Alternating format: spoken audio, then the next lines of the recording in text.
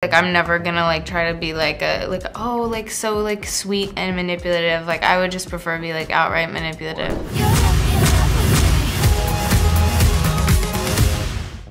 Hi Tina, how are you? Hi, Jesus, nice to meet you. Mean Girls is one of the definitive teen movies of all time because it has transcended generations. Now, uh, you bring back this story that captivated the world, and something that surprised me about this new version is that it's not completely a remake of the original film or the Broadway musical. This film has its own essence, references, and elements that make it unique, such as social media and even sexual diversity, that are important for young people these days and that were not so present in 2024.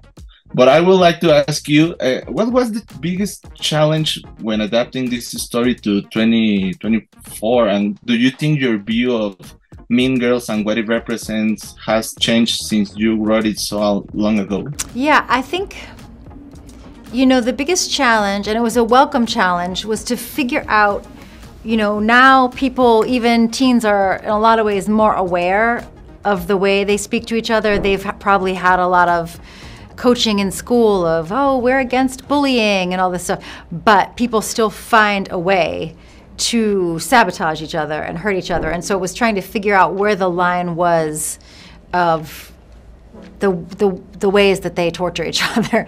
Um, and yes, social media is a part of that uh, landscape now. I always say it's like this is these are the newest weapons in the war, but the war has been going on forever, and the war is about people. And so I think our directors did a really nice job of incorporating social media into the movie without it taking over and also finding ways for it to be funny and not just like, you know, I don't know, just like old people being like, this is how teens talk to each other. Move. Hey, PG 13, please. Renee, uh, Regina George is one of the most iconic characters in pop culture of the last 20 years and you definitely gave her a different vision in this new version of Mean Girls.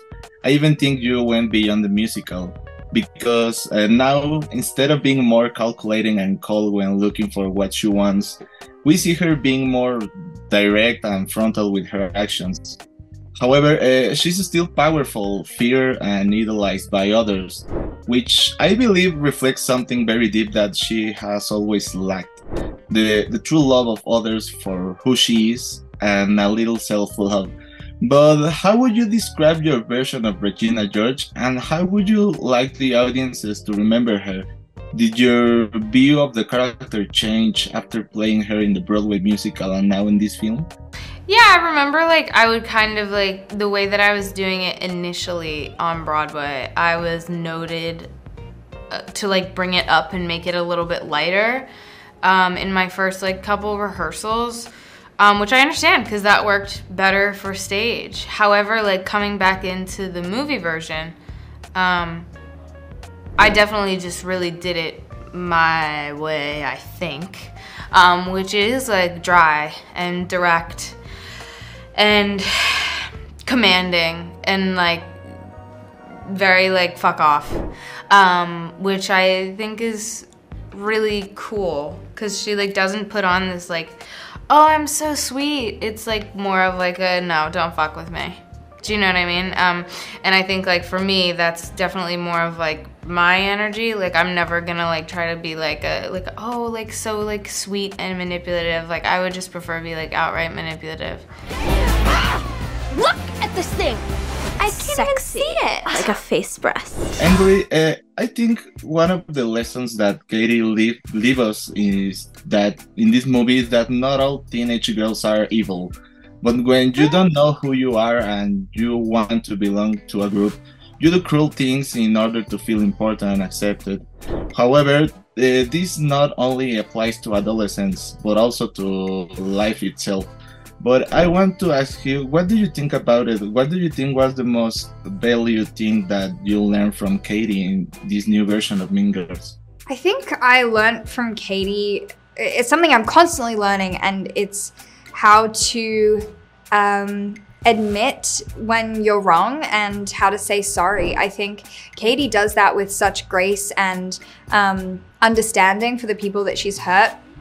And I like to think that you know I haven't uh, I don't know how to do that, but I think what's amazing about Cady is that she has the courage to do that every time and with every single person, and um, she is afraid at some points to say sorry, but like she does it anyway, and so I think her courage in understanding what she did wrong and apologizing for it is something I really admire about her.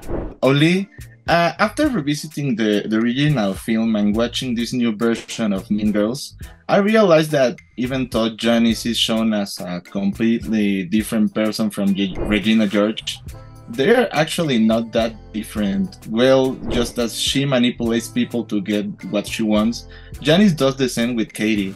But what do you think in general about the character and the version you now play? What do you think is the greatest lesson or satisfaction that being part of Mean Girls gives you? I love that you picked up on that. I remember thinking about that when I was first reading the script, like just auditioning for it. I was like, Janis can be a mean girl too. Like this whole plot of revenge is not just like, ooh, like I hope that that that she's not as popular anymore. No, this is a takedown of Regina George. Um, and I think it's a really interesting and funny comedic play on like the hierarchy of high school. It feels so important, right? Like everything is a life or death situation with when you're in high school and who is most popular. Um, but with Janis, she also has this amazing ability of saying, you know, I don't care if I sit with only these two people at my lunch table, the people who really know me best. I will not be fitting in with the plastics.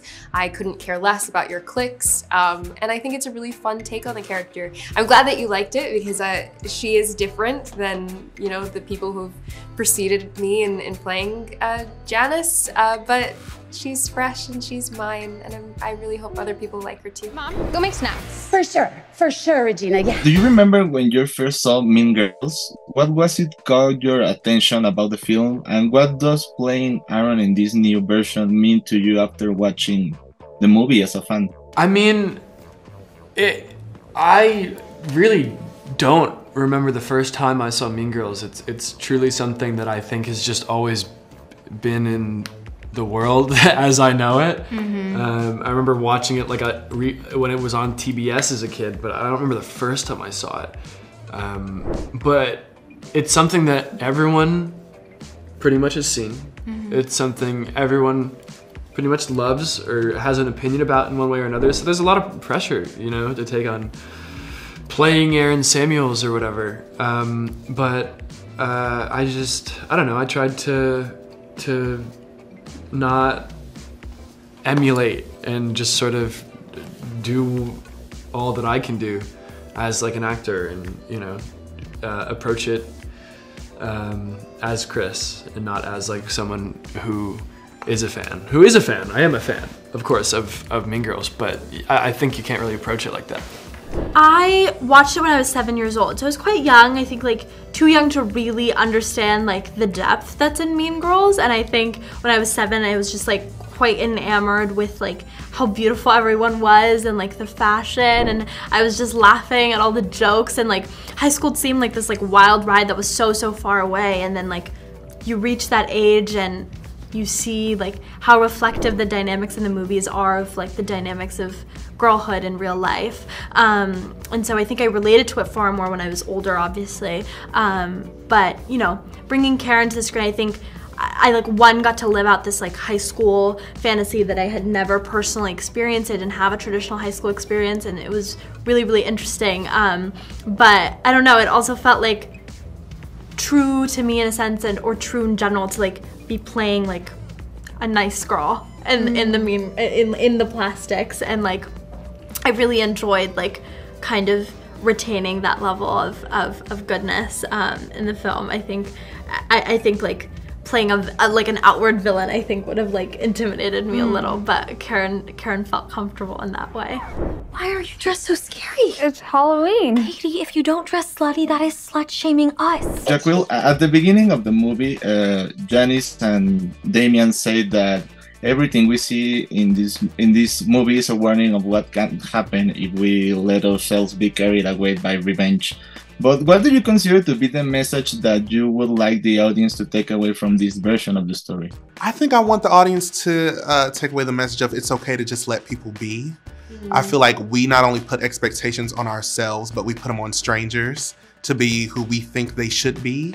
Um, and that's not reality. That's not how the world works. We're all made different for a reason.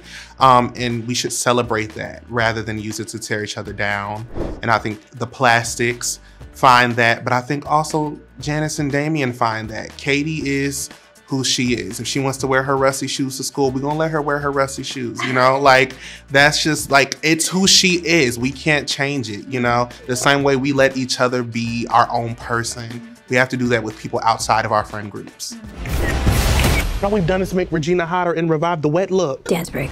Eh, Even though 20 years have passed since the release of the first film, I think many things we saw in the original version of Mean Girls are still the same. The, the social power dynamics, forgetting your own personality in order to fit into a group, and toxic attitudes between women are still very present in our society. However, I think that the, the messages of this story remain intact, such as female sisterhood in a world that is already complicated for them, uh, but uh, above above all, sorry, being yourself and learning to accept and coexist in a space with completely different people to you. But what do you think about it? How do how much do you think these ideas that the film present to us have evolved? And how would you like the audience to remember this new version of Mean Girls? Uh, I hope that people will take this new version as uh, a fun, like a, you know, in many ways, like just a purely fun outing that gives them a little bit of the nostalgia they may feel about the original movie, but also feeling um, new and and surprising in a lot of ways. Um, and I think, you know, as much as people love the plastics, and part of what makes them so funny is the the the ways that Regina torments people that I do hope people remember that the core message of the film is to be your authentic self, to let other people live, you know, to not try to not punch down, as people like to say now. Um, I hope that that still sticks with people. That's a great question. Yeah, I mean, I think, you know, um, these human emotions will never change. Being a young person is so complicated and so intense. And I think the original 04 film um, perfectly encapsulates what that experience is. And I think our 2024 version does that as well. Um, you know, a few things have changed since 2004. Obviously, social media provides this like entirely new landscape that is really terrifying um, to to traverse. Um, so yeah, I mean, I think um, thematically, so much of the story um, remains, but maybe there's just um, a, a different way or method that we are kind of exploring some of these things. You know.